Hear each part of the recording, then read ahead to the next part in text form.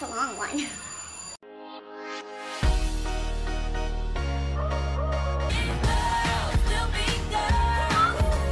Hey guys, it's me, clearly misunderstood. Good morning, good morning. I hope you're all doing great. So, today I'm going back to school. And now, this school is not exactly my school, it's the school where my mom works. She works as the coordinator for the um, high school, grade 6, 7, 8. I hope it's gonna be fun going back to school, and it's really early in the morning.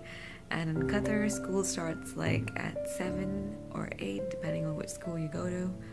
And my, the bus is gonna come by 6.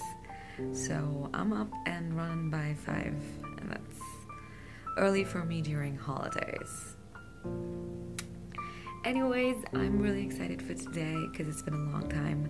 I'm gonna meet a few teachers of mine who have shifted from my old school to this school. So let's see. I'm gonna go meet them and feel nostalgic and all of that. Let's see how it goes.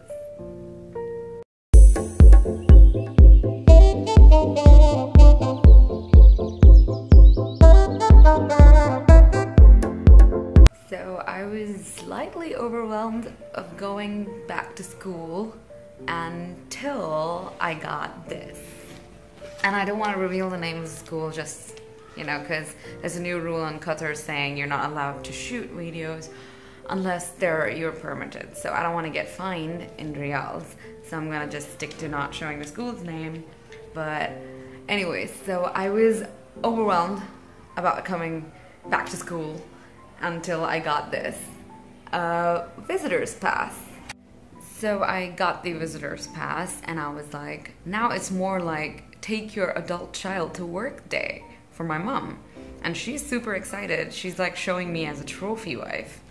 Pun intended, I am wearing UWD's trophy wife matte lipstick. I'm like super scared that someone's gonna walk inside the room and then catch me using a phone in school. So in my school, it was not allowed, and clearly, it's not allowed in this school either. I'm sitting in my mom's office. She's basically a maths major, but is has been promoted as the coordinator. I think six years ago, and this room cannot be generic. I mean, cannot be more generic than it can be, because it's got like creepy scare chairs, and the most generic thing about school rooms of any higher authority are those cups right there. For me, school is about.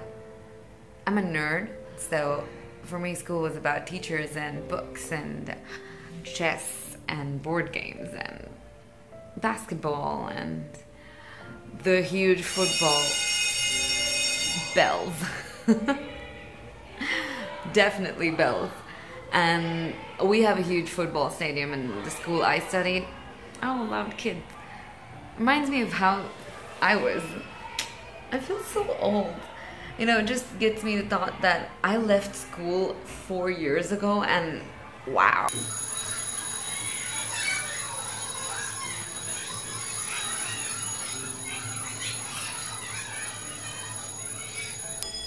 Oh, I think it's the fire alarm. Should I be concerned?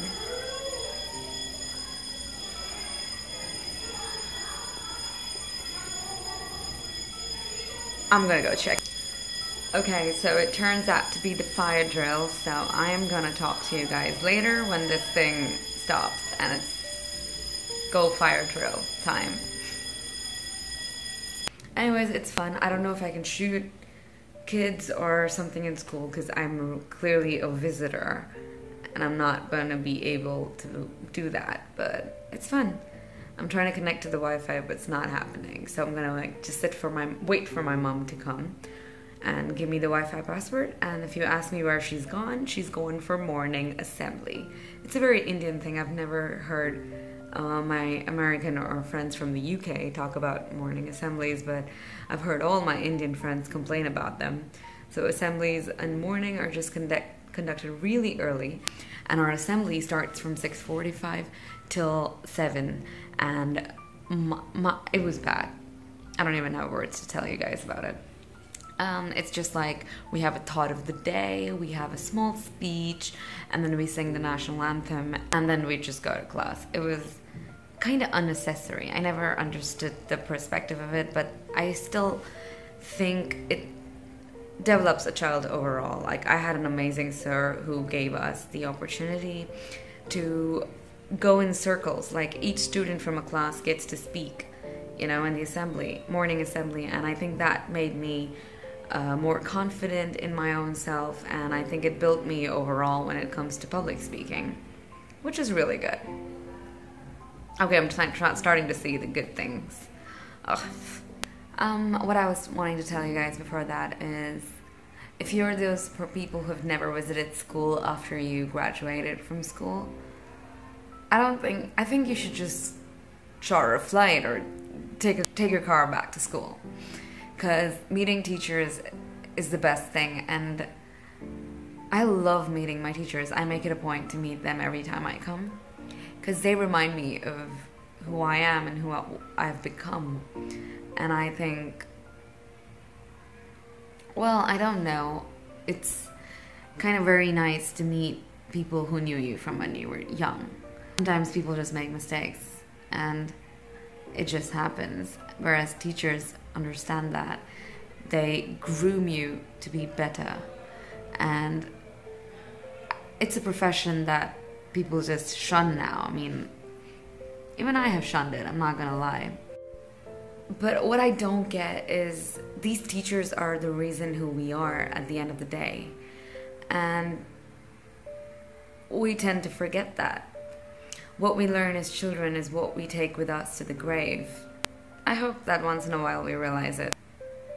Now that was Senti, but go visit your teacher.